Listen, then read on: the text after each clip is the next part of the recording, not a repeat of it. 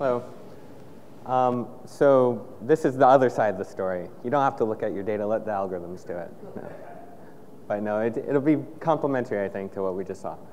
Um, I'm a data scientist at NextEra Energy up in Juno Beach, but this is totally unrelated to any of that. So, and in fact, uh, this isn't even my own work, so I want to make it very clear to begin with that uh, I stole everything, and I want to give most of the gratitude to the AutoML group at University of Freiburg in Germany, um, where these top three authors uh, wrote the main paper I'll be um, highlighting, and I think these bottom two guys worked together on the first chapter of this book that I'm stealing a lot of stuff from too, but they're all in the same research group. Um, so what is hyperparameter optimization? Let's just be clear about that before we get going on how to do it. Um, so most ML algorithms have something that needs to be specified before you can actually feed it data and let it start learning, right? So these things that have to be specified up front are hyperparameters. And even if you aren't specifying them, they're usually there, they're just maybe set to default, right? So using an algorithm to choose those hyperparameters is then hyperparameter optimization, or HPO. Um, just to kind of put this into context, there's something kind of more inclusive called AutoML, where you would then be automatically searching through what algorithm to use, pre-processing, feature engineering, feature selection, tuning the hyperparameters, maybe ensembling a whole variety of these models, and it's kind of like uh, automated data science in general, right? And so I'm just going to be focusing on hyperparameter optimization and leave the rest of that out. Um, it's kind of debatable on if you want to include pre-processing as a hyperparameter or not. So if you have a neural network, maybe whether or not you uh, do ZCA on the images before you feed them into the algorithm could be a Boolean hyperparameter or something. But uh, so why HPO? I think the most obvious answer is if you choose good hyperparameters, you'll get better model performance, right? So that's kind of a no-brainer. Um, default settings will usually give some sort of result, but they're really not your friend, okay? And they won't get their feelings hurt if you decide to change them. Um, and no, there is not one learning rate to rule them all, although everyone has their favorite to start with, right? Um, but I think kind of a more overlooked reason to do HPO is the second one, that if you're trying to make uh, valid comparisons between different models for the same data set, it's totally unfair and invalid to compare the algorithms unless you spend equal amount of effort or computational resources tuning the hyperparameters, right? So it wouldn't be uncommon to say, oh, I've got this great new algorithm, it works so great, I tuned the crap out of it on this data set, giving me excellent, and look, it beats that, that, and that, because I left them on their default settings, right? So I think it's really important, uh, especially if you're doing research, to use hyperparameter optimization to make fair comparisons. Okay, um, many people manually tune hyperparameters, I know, I've been there. Um, but would you ever manually tune your regression coefficients? just looking at the validation score until you think you found the best coefficients for your regression model, right? Even if you're really good at it, like, oh, I've been doing this a long time, I'm really good at it. No, right? That sounds crazy when you put it like that. Um, I'd also like to highlight something called variable ratio, variable ratio reinforcement schedules. Um, this is what casinos use to get you to addicted to slot machines, right? If a reward um, might or might not happen on the next pull, and uh, you go kind of long droughts in between pulls that offer you a reward. In this case, finding hyperparameters that work the best so far. It's an excellent way to make you keep pulling that lever, right? So I don't know about you, but you know, you've got your data set pre-processed, all ready to go.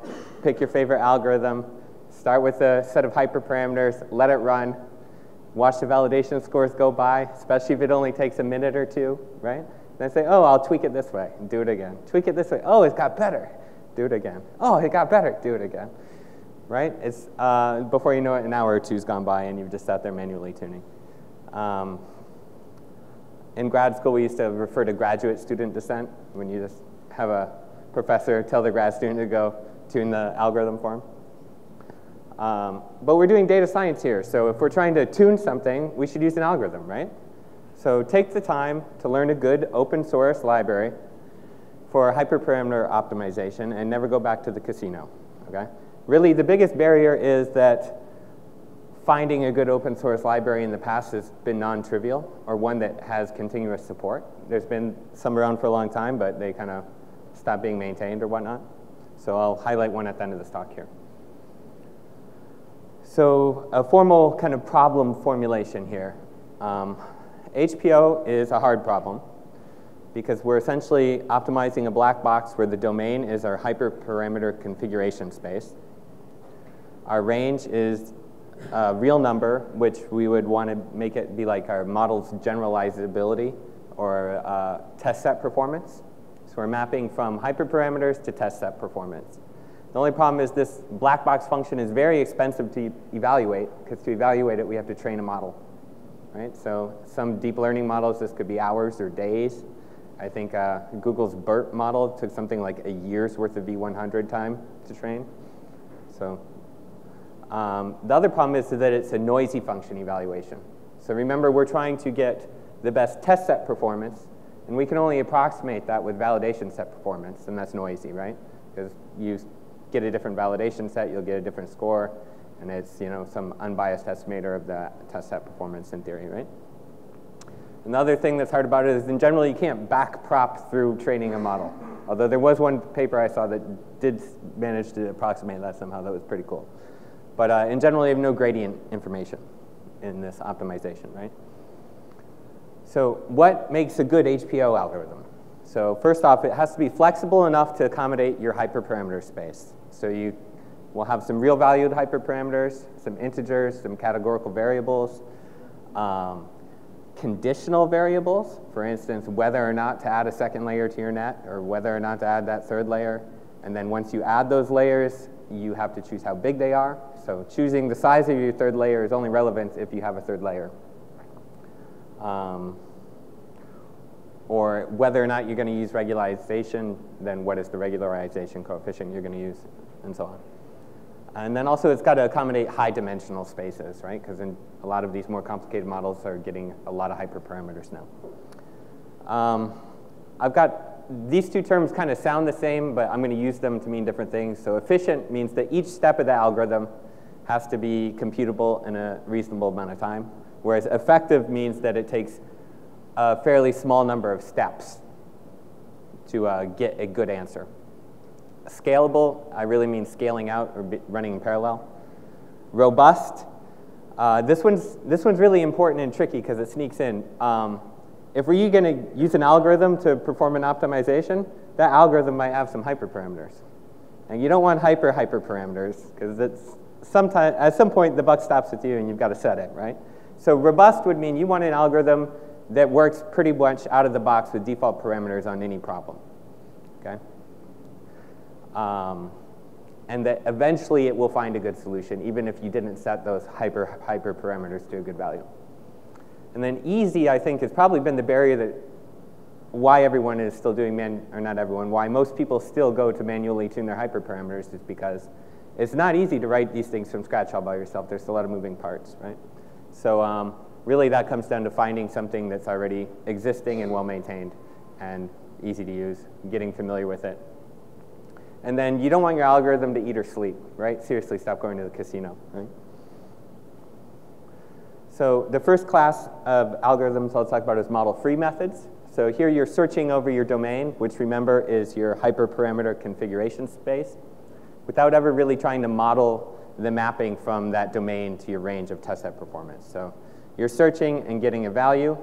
You use that value to inform your search somewhat, but you're not actually trying to create a model that uh, approximates that function right? So the most basic one would be grid search, where you lay a grid over your configuration space and check every point. Don't do that. At minimum, go to random search. There's lots of good theoretical reasons for this. Grid search, you end up repeating the same parameter setting a whole bunch of times, and you'd be better off injecting some random noise around that. So random search is almost, uh, or it is always better than grid search. Don't use grid search. Um, there's heuristic search uh, methods like ant colony optimization and particle swarm optimization. Um, the problem with these methods is they, in general, need a lot of function evaluations, which isn't great when they're very expensive, right? and there's evolutionary algorithms and genetic programming. Again, it can take a lot of function evaluations. Um, I know these are quite popular when you get up to the whole AutoML scheme, though, for like feature engineering, for instance, where you will take different features and combine them in crazy different ways through genetic programming. Um, last class here is multi-resolution algorithms. The idea here is that instead of doing this really expensive evaluation, maybe you can do a cheaper function evaluation but get a noisier answer, right? So this could be like training on only a hundredth of your training data and see how it performed on that. Or instead of doing tenfold cross-validation, just evaluate on one fold and take that validation error. And it's 10 times faster, right? But it's going to be a noisier estimate of the actual test set performance. Uh, so we're actually, this hyperband algorithm is going to come into play later. So, um, so in general, model-free methods are flexible uh, because you're usually randomly sampling from the configuration space. Uh, efficient because you don't have to do any complex logic to choose which point you're going to pick next. Scalable because a lot of times it's embarrassingly parallel to do these things. Um, but they're not that effective. In other words, it takes a lot of model evaluation or model training, function evaluations to uh, get a good answer. So this is in contrast to model-based methods, sometimes called Bayesian optimization, uh, where you define a surrogate model that's approximating the function from configuration space into test set performance. Uh, then you use that surrogate model uh, to along with something called an acquisition function to like pick which configuration you're going to try next. So you're explicitly mapping how configuration space results in test set performance, then you're using that model to say um, what, what you're going to try. So you can have different surrogate models and different acquisition functions for different combinations here. Um, I think the first one that became popular was Gaussian processes, uh, which are nice because they explicitly have um, uncertainty built right into them, and they're smooth and nicely behaved. Uh, the problem with those were the flexibility part. So it is a little trickier to handle categorical variables. It's very tricky to handle conditional variables in your search space. Uh, one that worked better for that was use a random forest surrogate model, and that results in an algorithm called SMAC, which is also just a cool algorithm name.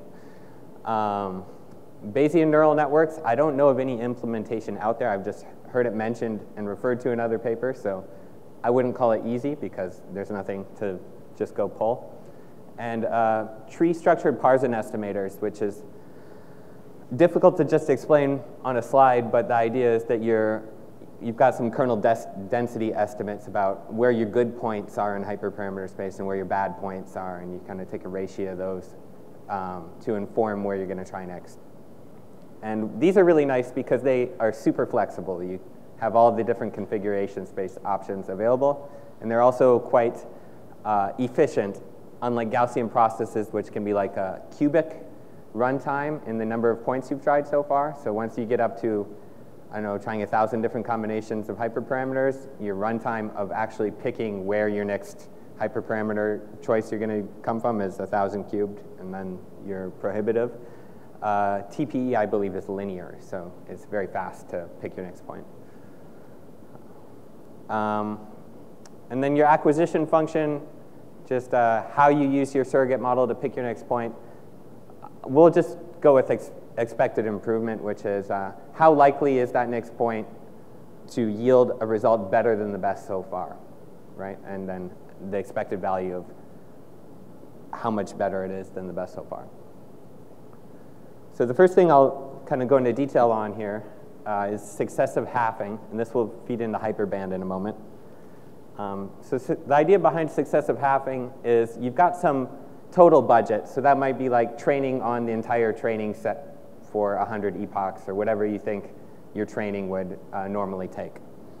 Uh, you pick some large amount of configurations and you start them all off at once for a little while. So say, in this case, you picked eight configurations, and you're going to run them for an eighth of the maximum training time.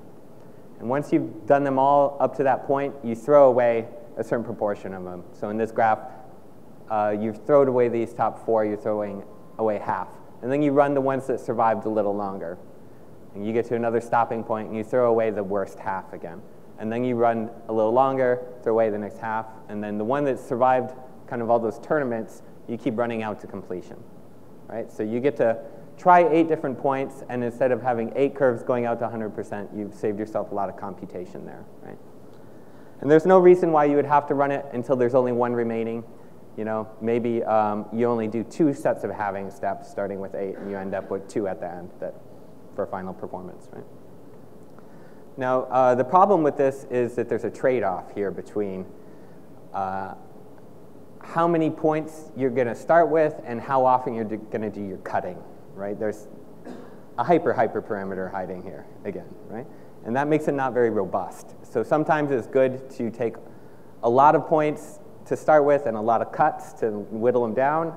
Sometimes you need to let them run longer to start to differentiate themselves. Or you don't really see which hyperparameter setting is going to be the best until maybe at 50% budget or something like that, in which case you'd be better off uh, letting things run longer before you make your first cut. Right? So hyper, so that's that not robust part. So Hyperband solves this by saying, well, let's just try all the different cuts, right? So I'll try not cutting it off at all, which is equivalent to random search. You're just picking random points and letting them run to completion. And then on the other end, there's I'll pick a whole bunch of points and cut off it. And then I'll try everything in between and just allocate my resources evenly across that, which kind of seems naive, but it works really well. So I think that paper came out at the end of 2016. It might have been 2017. And it showed really good results. A, because it tries a lot of things fast, and B, because uh, it's very robust to that successive halving problem. Uh, however, it's not very effective in the sense that um, it doesn't always get the best answer because it's um, model free and it's still randomly sampling configurations.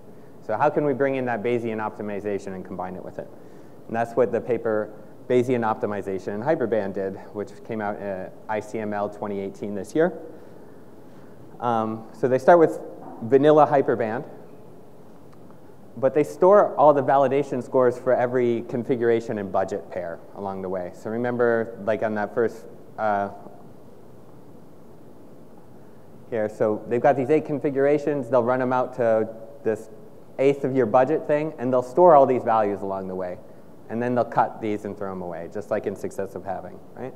Or in hyperband. Remember, hyperband is just doing successive halving with different number of cuts, right? So as you store all these config budget pairs, you can start to build up a Bayesian model about where you should pick next. You start off randomly sampling, but as the da data starts to roll in from trying all these kind of quick and dirty models, you build up a tree Parzen estimator to help you pick uh, where you're going to try next. Once you get enough data, you use your tree Parzen estimator most of the time. Um, still random sampling once in a while for robustness. Okay? And as Hyperband continues, you'll start to get things, uh, more data on the higher budget runs, which are more accurate validation scores. And you switch over to a new tree Parzen estimator at a higher budget, and you keep using the highest budget available that you have data for. And uh, this turned out to work really well. It's a little bit difficult to see here, but um, this is from the BOHB paper. Um, BOHB is in green here. Notice the log scale here for wall clock time. Okay, so this is, this is a 20 times speed up. That's huge. You start getting excellent performance before they even start returning their first um, values here. Um, and you see hyperband and BOHB are almost right on top of each other, except when you get out here, hyperband stops improving uh, much, whereas BOHB is starting to build up this Bayesian optimization model and then can intelligently choose its next points, whereas hyperband keeps randomly sampling. So you randomly sample at first with quick and dirty models, you start building up your Bayesian stuff, and then you can end up with a 55 times speed up over regular random search. Right? So 55 times speed up on your hyperparameter search isn't a reason to uh, look at this library, then I don't know what is. So the library that this is implemented in is called HP Bandster, Hyperband on steroids.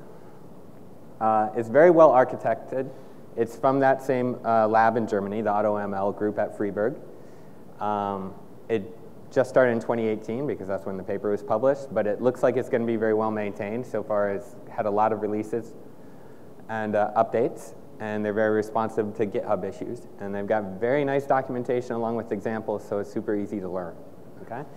Um, very flexible configuration space definition. I'm going to show you that in a second to give you an idea what that looks like.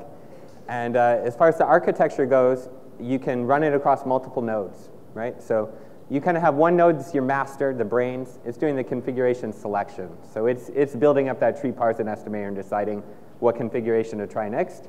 And then you can have a whole bunch of worker nodes all operating independently, running in parallel, that are taking a configuration and a budget and training the model on that configuration out to that budget. And then this is all orchestrated with some name, name servers and dispatcher stuff to get that uh, multi-node capability. But this could easily run on one machine across different cores as well, right? Um, so this is what a configuration for uh, PyTorch ConvNet might look like. So you could say I've got a learning rate. I specify a lower bound and an upper bound, a starting value, and that is uh, log transformed so that you're equally as likely to step 10 times higher, 10 times lower instead of just uh, ignoring the low end range if you didn't do that log transform.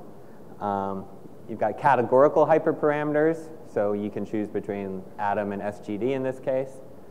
We've got uh, a momentum term that you're uh, uniform distribution over, However, you're only going to use the momentum term if your optimizer is SGD. So that's a condition there, right? So that's that conditional hyperparameter thing. Because Adam, apparently they're just going to use the default. Um, you've got integer values. Um, integer values that are log space for number of filters. And then you can have greater than conditions as well. So before we had a Boolean condition, basically. Uh, here we're saying if you've got more than one convolution layer, you need to specify the number of filters in the second layer. If you've got more than two convolution layers, you need to specify the number of filters in the third layer. Um, yeah, okay. And then this is just, I've showed you one algorithm in one library. There's actually quite a few out there. I would suggest you start with HP Bandster, but HyperOpt has been around the longest. That's from about 2011, the original TPE paper. Um, Spearmint is Gaussian processes. SMAC, I mentioned earlier, uses random forest surrogate models. SKOpt, I believe, is Gaussian processes too. But um, SMAC and SKOpt, I think, are actually pretty well maintained as well. SMAC might be at the same lab now in Freiburg. They might have taken it over.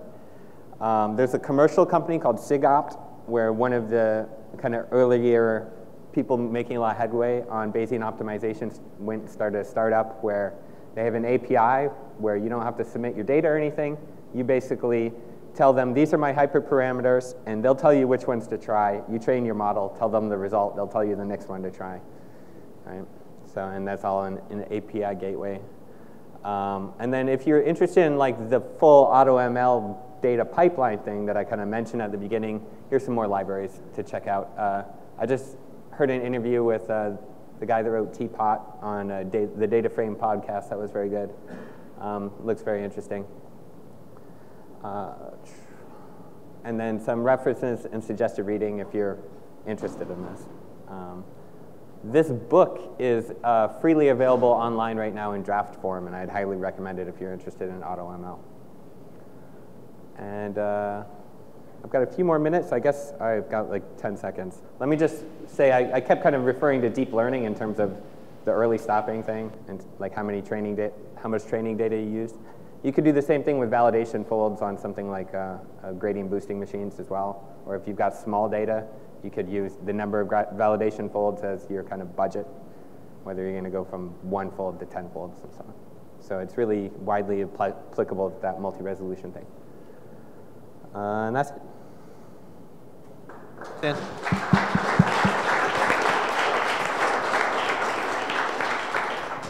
Any questions?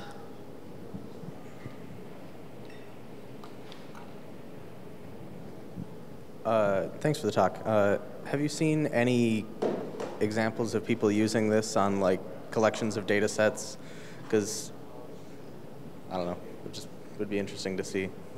Um, yeah, so the papers themselves, you know, like to compare different HPO methods on various benchmark data sets. Um, and I know the kind of full-on AutoML stuff, the guy that made TPOT, I, his name's escaping me, was saying that people are, have been throwing it at problems and getting like top 10% on Kaggle just out of the box, and it's surprising a lot of people. So it's, the, these things work pretty well. You, some of the, I think the AutoML things, you can get like, one of the papers talks about Frankenstein stacking models, so just very descriptive in terms of what you end up getting out of them because uh, you think of neural networks, how try neural networks stacking all these other crazy models with genetic programming for your feature engineering, right? So.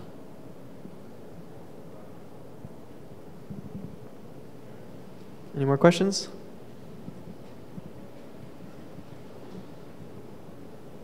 All right, thanks, Dan. Yep.